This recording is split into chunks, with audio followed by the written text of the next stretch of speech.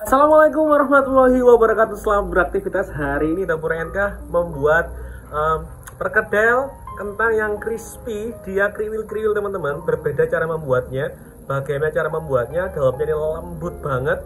Yuk simak videonya sampai selesai. Jangan lupa bantu like, komen, subscribe. Nyalakan tombol notifikasi Anda Supaya tidak tertinggalan di uploadan dari Dapur NK Dan mohon maaf sebelumnya. Makasih. Assalamualaikum warahmatullahi wabarakatuh. Masak enak bareng Dapur NK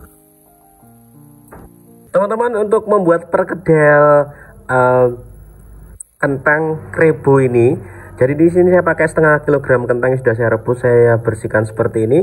Dagingnya saya pakai uh, 100 gram daging daging sapi bisa daging ayam monggo kalau nggak punya sapi. Ini saya pakai garamnya setengah sendok teh kalau bubuk setengah sendok teh ini ada bubuknya seperempat sendok teh. Nah ini saya pakai um, bawang putih dan juga bawang merah masing-masing tiga. Tapi saya goreng dulu teman-teman biar harumnya keluar. Ini tepung maizenanya saya pakai 75 gram ini ada daun bawang dan juga daun seledrinya tiga batang dan juga satu butir telur. Yuk kita eksekusi.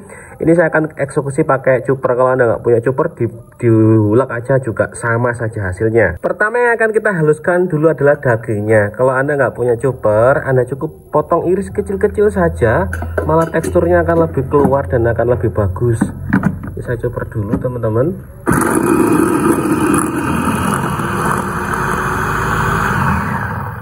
nah udah cepet langsung lembut ya.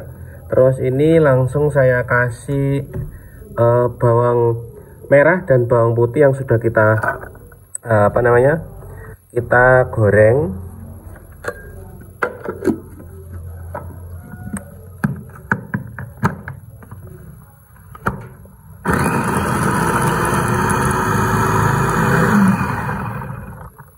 Oke langsung Nah sudah halus seperti ini.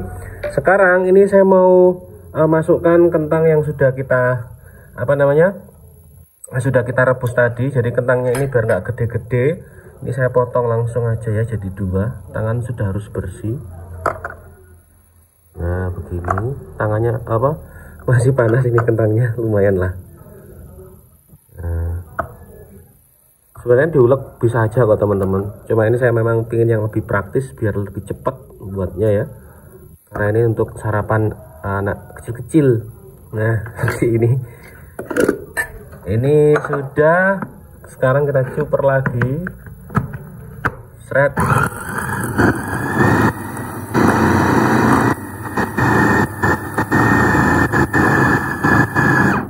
Nah sudah. Sebentar saja nah hasilnya seperti ini agak kasar-kasar ya teman-teman. Tapi akan kita kasih adonan lain. Kasih tepung maizenanya terus ini uh, daun ya. Daun bawangnya nanti belakangan aja deh ini. Sekarang kita kasih apa namanya? Si garam kaldu bubuk dan ada bubuk.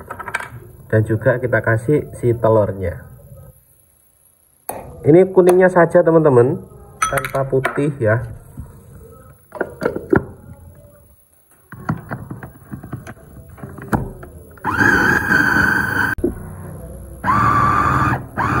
nah ini sudah. Oke dia akan lembut banget teman-teman. Lah hasilnya seperti ini.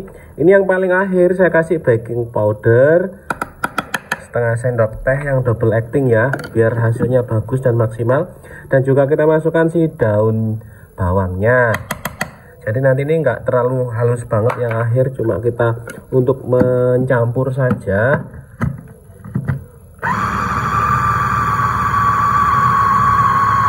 Udah cukup, yuk kita masuk dalam proses penggorengannya. Sip.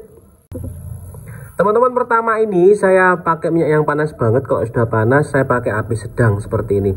Saya siapkan garbu teman-teman, dua buah garbu seperti ini.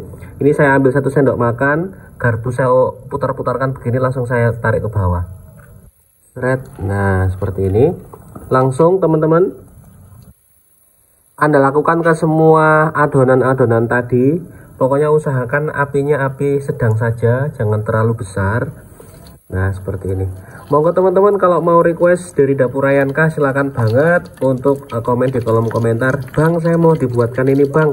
Nah insya Allah nanti kalau ada rezeki ada waktu ada bahan akan kita eksekusi untuk anda. Pokoknya spesial untuk teman-teman yang sudah subscribe di dapur Ayanka perkedel kriwil daging ala dapur Ayanka ini semoga bisa menginspirasi bagi anda. Nah teman-teman ini sudah saya masukkan semuanya. Ini saya balik-balik saja biar matangnya merata. Jadi kesan kriwilnya ini kelihatan banget dan anda bisa merasakan di sini bau dagingnya ini harum sekali meskipun dagingnya nggak terlalu banyak.